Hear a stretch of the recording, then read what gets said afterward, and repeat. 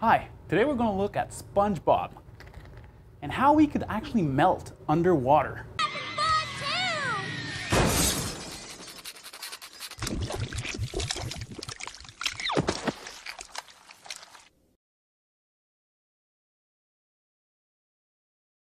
To get this effect, we're going to wet the SpongeBob and we're going to pour sulfuric acid over him. It's very important that you wet the sponge if you want to have a quick effect. It will work without wetting the sponge, but it'll be much, much slower. All right, let's check it out.